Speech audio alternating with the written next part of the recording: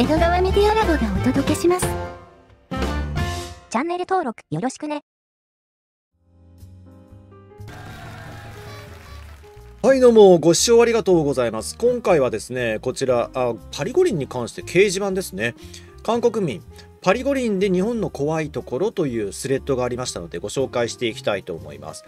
それではスレ主の格好見てみましょう。くーちゃんお願いします。全種目でバランスよくうまいんですよね。私たちのようにアーチェリーに集中するのとは違って羨ましいです。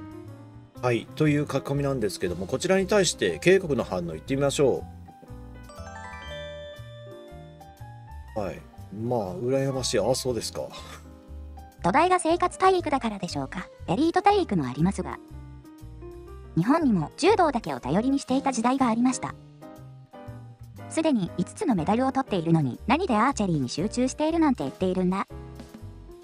自国でオリンピックを開催すれば通常は最高点に達します。お金をばらまいたおかげで20年ほど維持します。警告も88年に最高点を達成して下がりつつあり、日本は以前に最高点を達成し、再び開催して上がったのです。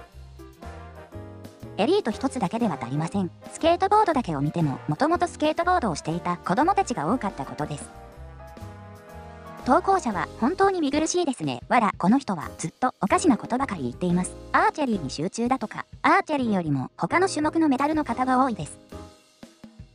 日本のメダルに負けず劣らず、警国のメダルも価値があり素晴らしいですよ。人口差がほぼ2.5倍です。日本は学校スポーツがよく整備されています。成績を出すために殴ったり酷使する私たちの国と比べれば天国です。彼らは放課後に必ず運動をするようですね。私たちのように携帯電話に夢中にならないように学校で調整しているようです。日本の怖いところは地震や津波が頻繁に発生することです。日本の怖いところはすぐに歴史を歪曲するのが得意なことです。日本の怖いところは渓谷で寿司や居酒屋が大流行していることです。それも高級で、わら。いつか渓谷料理も日本で1人当たり100万ウォンで大流行する日が来るといいですね。果てしない日本愛、人口に比べて大したことはないのにまた日本信者が。日本の怖いところは投稿者のように嘘をよくつくことです。さらに嘘をついても罪悪感を感じないことです。私たちもこれくらいなら世界でバランスよくうまい方です。GDP3 から4位の国ならその程度は当然でしょう。国にお金があるのだから。私たちの国が GDP13 から14位でこれだけやっているのはすごいことです。はいというね意見でしたそれではですねチャットの反応を見ていきましょうはい、えー、じゃあ上の方からいきますかねなんかちょっとね聞き捨てならない、えー、反応もありましたけどねだってお前らは隙間競技でしか通用しねえじゃん。なら警告犯も日々鍛錬しろよ、わら。お金がなくなったから弱くなったと吐露してるね。アーチェリーに射撃に弓協力し合う団体種目に向いてないんだろ。サッカーバレーに集中だろ。スケボーならアメリカの方がやってるだろ、わら。人口差で言うのなら今頃インドは頂点でしょ。他の種目も多いです。で、その種目言わないのはなぜ？わら。選手の頑張りのおかげなんだよね。根本がわからないといけないよ。地元にスケボーできるパークを建てたり、アスリートの意識が高いのよ。なぜか一部の界隈では物議を醸してたようだけど。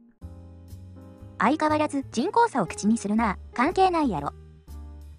自分たちが勝手にやってることを日本のせいにするなよ。事実を言ってるんだから、そりゃ罪悪感なんて感じないよ。お前らと違ってな、わら。日本以外の日本料理店は C と K が大半じゃんか。ユンユンかわいそうに K がお金あると国民は思い込んでるから無茶ばかり言うようだぞ、わら。知能が足りない人は自分が言われたら嫌なことを相手に対して発言するそうですよ。相手も嫌だろうと考えるからだそうで。てか、すぐにへたれて競技を止めてしまうから強くなれないのも当然でははい、ということでね、えーそれではこれで終わりにしたいと思います。ご視聴ありがとうございました。チャンネル登録、評価、ぜひぜひよろしくお願いいたします。それでは、また。